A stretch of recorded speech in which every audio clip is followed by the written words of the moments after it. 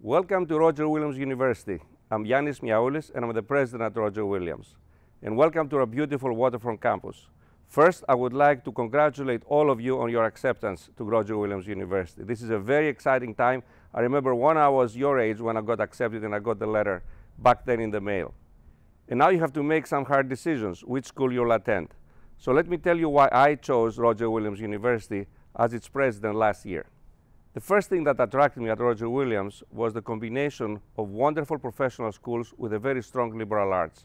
You'll have the options not only to take courses from the best faculty in liberal arts, but also focus in certain areas, either within liberal arts or in one of our professional schools.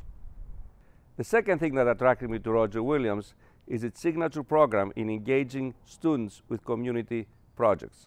Our students engage in a meaningful way with different organizations around our community and sometimes across the world into helping people solve real problems.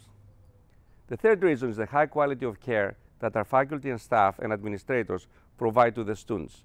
Just to give you an example of how strong that is, we have a parent advisory group. This is a group of parents that advise us on academic programs, on student life, and more than half of the parents in this group are parents of alums. Their children have graduated from the university, but these parents felt so indebted to the university because of the amazing care we took of their sons and daughters that they stayed on the advisory group to continue supporting us. And the fourth reason is the enthusiasm our current students have toward the university. When I was interviewing for my job, I made three visits incognito here to the university and met, I took a tour, a campus tour, and I had lunch with students uh, actually as a potential uh, parent here at the university, parent of a student. And 100% of the students that I interacted during my visit were so enthusiastic about the university that made my decision very easy. Again, I would like to congratulate you for earning your acceptance to Roger Williams University. I know you worked very hard.